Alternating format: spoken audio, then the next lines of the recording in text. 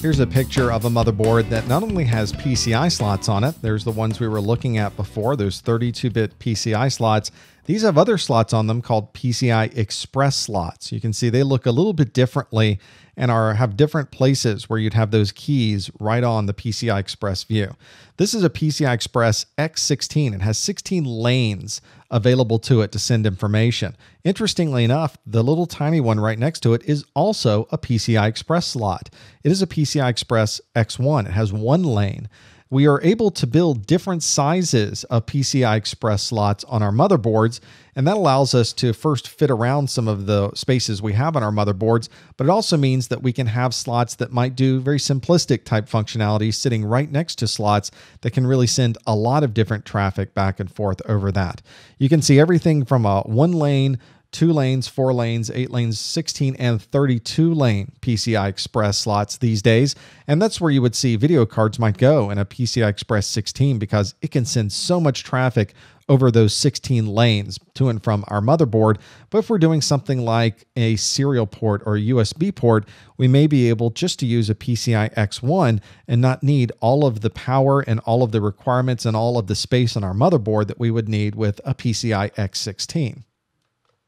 We see this a lot with high end video cards. So here is a video card that has one of those PCI Express options on there. You can see the little hook that's used to make sure that it doesn't go anywhere. And you can see the PCI Express view here. And you want to be sure that if you're buying one of these high end cards, this might be a PCI Express uh, X16, 16 lanes there. You want to be sure, obviously, that your motherboard has a slot available that will at least do X16, or else you're going to be in trouble. You won't be able to plug this in anywhere on your motherboard. Multimedia adapters will also use PCI Express. This multimedia adapter is one that has a PCI Express X1, only needs one lane. And that's because it's an audio card. And generally, audio card needs a lot less throughput than perhaps a video, multimedia video card might need. Because of that, we don't have to use one of those big slots in PCI Express. I can just use one of the really tiny PCI one lane PCI Express connections.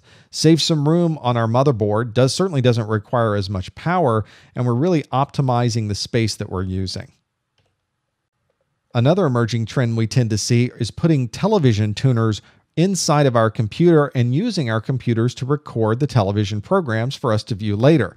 To be able to do that, we'll need a television tuner that will be able to get this information right off the coax, right off our cable television, and store it. And you can see this is, a, again, a PCI Express card. Looks like it's a PCI Express 16 port, and it's got an HDMI port on it, and it's got a DVI port on it, so we can plug in a monitor to be able to see not just the video from what we're doing, but we can also have input that can then be output through those video connections. So it's a multi-use card that's not just our video adapter, it's also one that's going to gather and collect video, the television tuner information for us as well. Audio and video is one type of input and output from our computer, but there's some other input output adapters we need to be aware of. For instance, this is a PCI adapter. We can see down here it actually has PCI written on the device itself, but you should be able to look at the adapter interface now and be able to understand is that PCI, is it PCI Express, or is it AGP? This happens to be a SCSI adapter. So for our SCSI disks, we need something that is able to communicate and plug in our SCSI connections. We've got a SCSI connector internally that's used to plug in our SCSI drives. There's also this one happens to have an external adapter on it as well. If you happen to have an external SCSI drive, and they communicate back and forth to our computer over this PCI interface at the bottom. We've got other I.O. that might be used. Maybe you've bought a new computer and you don't have a serial port, or you'd like to add another parallel port for some reason. You could buy a card like this that has both a serial port and a parallel port on it. And this one happens to use PCI Express, a one lane PCI Express to be able to do that. Maybe you need more USB ports, similar thing as well. Here's a PCI card that is plugging in and is able to allow you with one, two, three, four more USB ports able to come right off the motherboard itself. And now you've got plenty of more USB that you could use inside of your computer.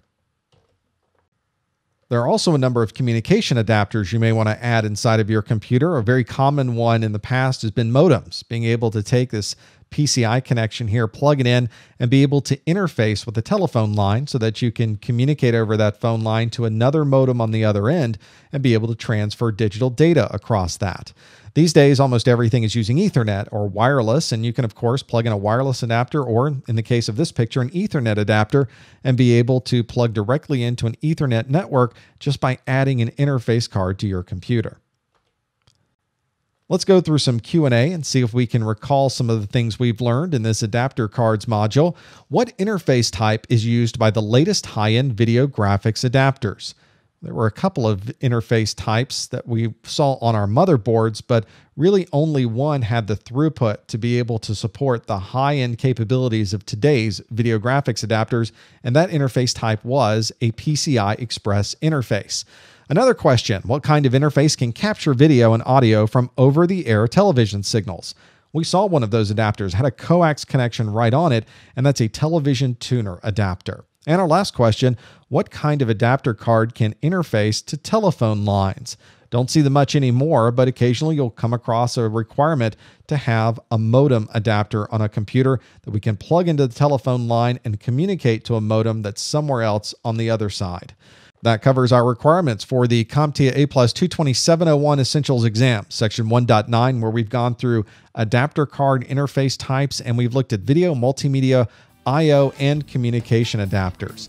If you'd like to see many of our other A Plus videos, go through our message board, send me an email, and much more, you can visit our website at freeaplus.com.